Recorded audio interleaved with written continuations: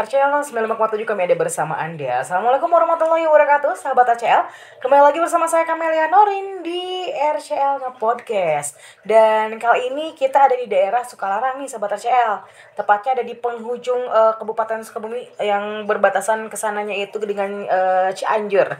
Dan sekarang kita ada di ujung nih.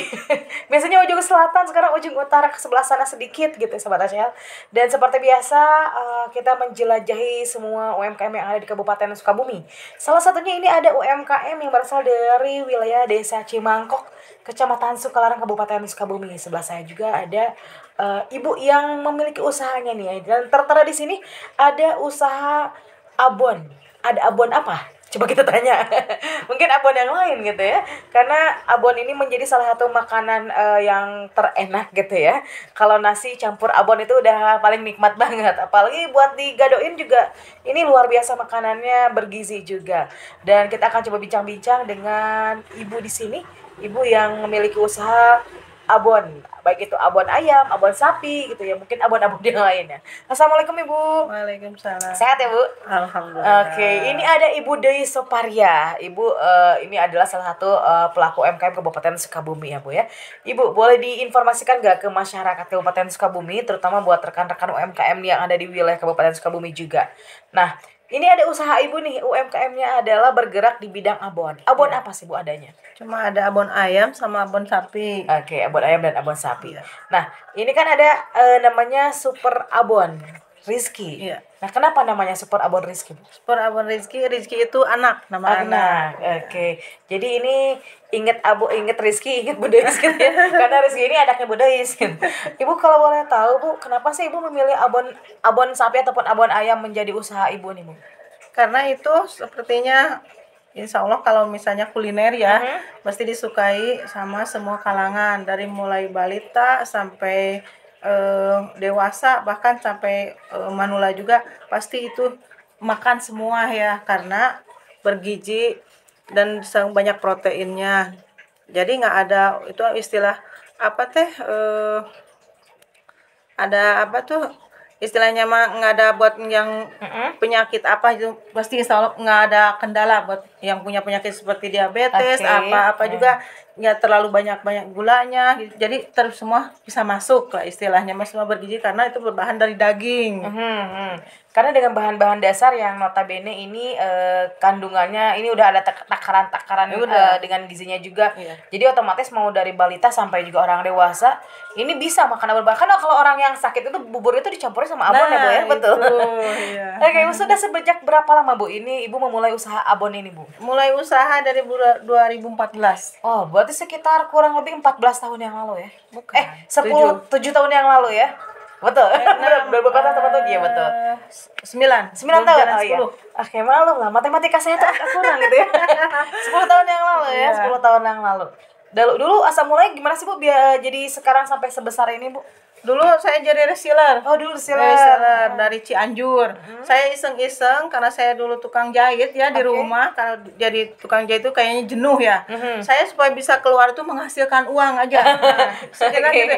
Jangan hmm. sampai saya keluar dari rumah itu istilahnya mah main apa hmm. gimana ngeluarin uang buat jajan. Kalau keluar istilahnya mah keluar gitu tuh menghasilkan uang itu apa kata ada tuh tuh uh, saudara di Cianjur mm -hmm. udah aja ini saya cara bikin abon jadi reseller masuk masukin ke warung dari mulai punya warung dua mm -hmm. tiga ya masuk masuk ya saya ke warung tuh yang keceran kecil lima mm -hmm. ribu itu dulu tuh alhamdulillah sekarang sudah punya reseller alhamdulillah keren ya dari reseller sekarang menjadi mempunyai uh, reseller. Aduh, ini keren banget. Ini salah satu uh, yang patut dicontoh juga untuk rekan-rekan UMKM juga bagaimana uh, perjuangan dan prosesnya juga ya, Bu ya.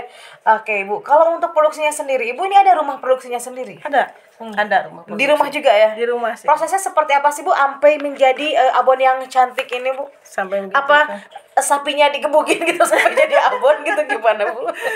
Enggak, Neng. Begini, hmm. kalau sap kalau ayam ya, ayam ah, dulu ya.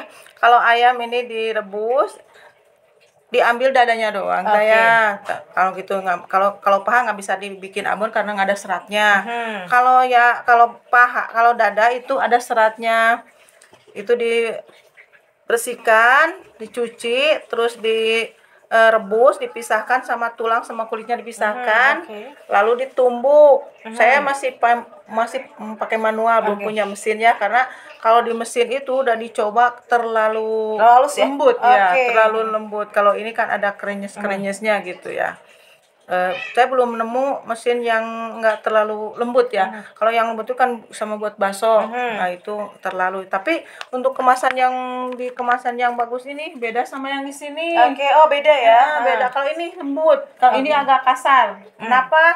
Karena di kalau orang misalkan dari dari istilahnya menengah ke bawah itu kan pengennya banyak ya. Oke, betul. Yang ngelihat itu kan kelihatannya kalau satu 100 gram itu agak banyak. Kalau di sini kalau misalkannya lembut pasti agak kecil ya, gitu. agak kurang gitu.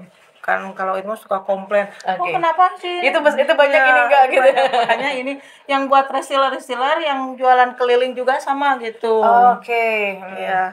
Nah, kalau tadi ayam kan ya, Bu. Kalau sapi gimana, Bu? Kalau sapi sama juga. Oh, sama, prosesnya sama. Cuman eh, sapi direbusnya lama. Mhm. Tapi ibu nggak pakai apa yuk? Yang rebus yang terlalu lembek teh apa tuh? Yang gampang lembek teh? Pakai apa, Bu? Pakai apa tuh?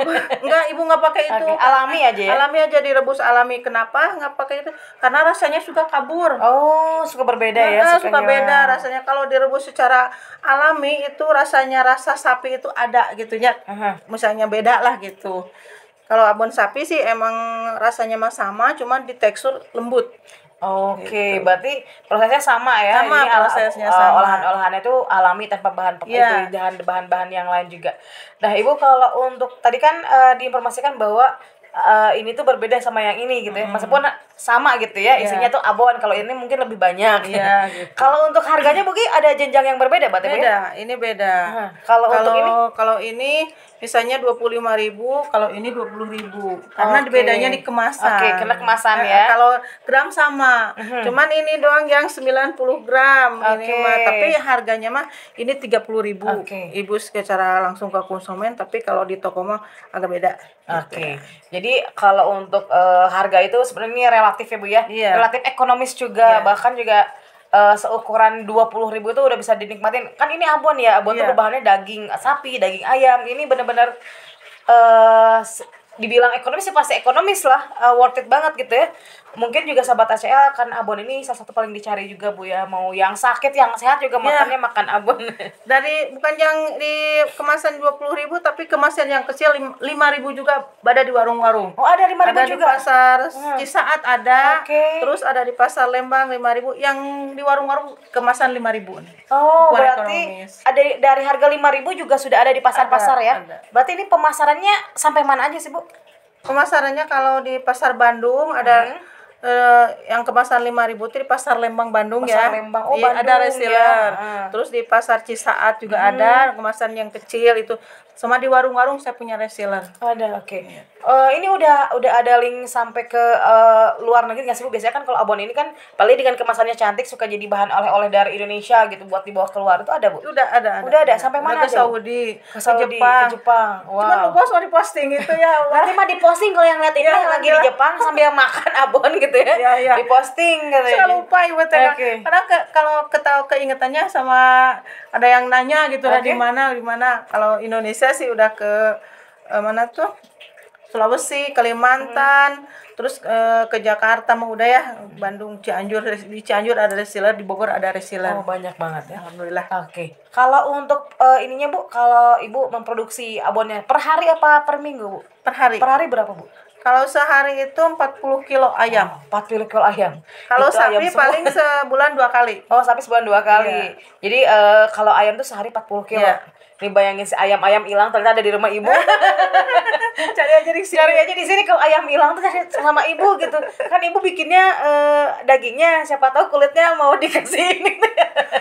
kulitnya sering manfaatin dikantongin diisi 8 8 on itu ya 800 gram saya jual 10.000 ribu Oke. belum lagi tulangnya itu tukang-tukang seblak Nah, tukang Yang seblak nyari. juga yang nyari tulang mampir aja ke Nah. Budois, ada tulang sedia. Kulit juga ada, boleh ya. Luar biasa emang ini ibu ini jadi apa pun harus jadi uang sebetulnya betul bu ya karena apa pun juga harus diusahakan Nah, gitu. kalau untuk omset sendiri nih bu boleh dibocorin nggak sedikit omset ibu per bulannya rata-rata kira-kira berapa bu bulan kira-kira ya kalau misalnya itu rata-rata aja ya Nah. Paling 30 juta sampai Ah? Wih, lebih lah. Paling paling 30 juta. Tuh. itu makanya segimana itu 30 juta? Jadi Omset sebulan semua. omset semua itu paling nih sobat ACL ya. Gimana caranya rata-rata? biar bisa kita bilang paling gitu ya. Paling cuma 30 juta. Nah ini kalau lebihnya mah nggak usah diomong lah.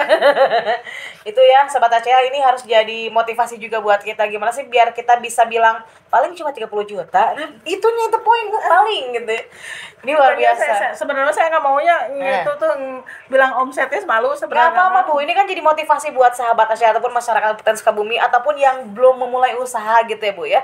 Dah Bu, eh, mungkin ada eh, harapan Ibu dari usaha Ibu ya sendiri seperti apa Bu ke depannya Bu? saya harapannya ingin menjadi besar usaha Hmm, itu ya amin. mencari apa teling-ling yang keluar Aha. Ah, tapi saya bukannya bermimpi ya pengennya keluar negeri mah tapi jangan terlalu itu ya kan Oke. karena keluar negeri tapi mau ya kalau ada misalnya kesempatan mah Indonesia juga masih luas mudah-mudahan lancar semuanya apanya itu ibunya sehat Amin. usahanya lancar biar ke depannya bisa ke mana seluruh keliling seluruh Indonesia bisa masuk Alhamdulillah, amin ya Allah ya alamin. Sekarang juga ini Ibu udah hampir bisa mencakup karena udah punya reseller udah pasti ini udah ke mana-mana nih Abon Rizky ini. Bu, terakhir Bu pesan untuk eh, rekan-rekan UMKM yang ada di Kabupaten Sukabumi Bu ataupun juga eh, kasih semangat gitu Bu untuk rekan-rekan UMKM. Iya dan pesan nomor telepon Bu kalau mau pesan ke mana Bu? Hampir lupa itu ya. Untuk uh, UKM UMKM Sukabumi jangan patah semangat ya. Kita ber- berusaha. Kita maju bersama. Kita apa tuh semangat biar lancar usaha jangan istilahnya mem- apa tuh eh, nggak nggak laku sedikit kita apa tuh Kita down gitu ya. kita down- ngedown jangan jangan kita semangat yang penting jangan pikiran ke mana yang penting usaha kita eh, laku eh, barang kita laku udah gitu aja Intinya mah laku ya. Kalau misalnya nggak laku juga us- terus usaha lagi Bu ya. Nah, terus berusaha jangan berusaha. coba jangan patah semangat tiap berusaha semangat semangat semangat yang penting usaha kita harus jangan di sini laku di sana juga insya Allah laku kita punya prinsip tukang dagang ya dagangan kita pasti laku Nah, prinsip harus laku. Pokoknya mah ya. pokoknya yang punya dagangan insya Allah laku Amin ya Allah ya Rabbal untuk alamin. pemesanan Nah, boleh Bu. eh, nom- ke nomor telepon 0857 2309 1146 sip Sukabumi Jaya Jaya, luar biasa. Ini semangatnya kelihatan banget kalau omset 30 juta mah semangat ya. Amin, amin, amin. Dan mudah-mudahan juga rekan-rekan UMKM di luar sana juga memiliki omset yang sama dengan Ibu dan juga yang Mungkin belum lebih banyak. ya. Yang belum juga dari sekarang eh, dipupuk juga ya Bu ya. Jangan sampai patah semangat kata Ibu juga tadi tadi ya. Jangan sampai ngedown. Pokoknya eh, asumsikan ataupun mindset kita harus berpikir bahwa kita jualan itu pasti laku. Ya. Betul. Ibu Dei semangat. Terima kasih atas waktunya Ibu. Mudah-mudahan usaha Ibu juga bisa berjalan dengan lancar, Amin, amin, sukses amin, amin. dan bisa memotivasi rekan-rekan UMKM yang ada di Kabupaten Amin, Sukabumi. Sobat Aceh, bincang-bincang kita dengan eh, Ibu Dei eh, selaku pemilik Super Abon Rizky dan kita ketemu lagi nanti di next UMKM yang akan kita kunjungi selanjutnya. Kembali Norin pamit. Assalamualaikum warahmatullahi wabarakatuh.